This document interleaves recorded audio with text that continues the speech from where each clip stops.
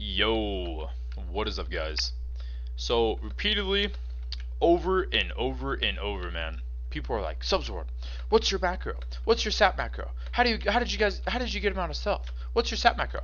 Sap macro, sap macro, sap macro. Listen, dude, my legendary sap macro is the only macro in the game that actually lets you sap people out of stealth with a hundred percent guarantee. And maybe that's why everybody's asking. Maybe, man. Maybe. My macro is none other than this this one right here that says sap. Right? Not not this one. Not not my at focus sap. But this macro right here. Not I don't have any other sap macros. Not this one. That's also a Xiao sap, sap macro. But this one, right here, that all of you are wanting to know. The legendary Subzworld macro is none other than a normal sap macro, dude.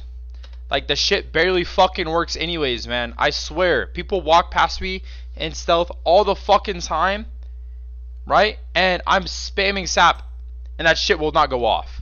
Right, dude? My sap macro is basic. Wish.com basic. Alright, this shit doesn't work. Okay? It doesn't work. But everybody's been asking, so here you go. Just for you guys.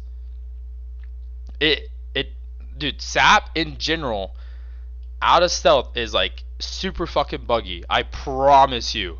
Okay? Shit is so weird. I've seen people like I'm in stealth and like let's say this guy's in stealth.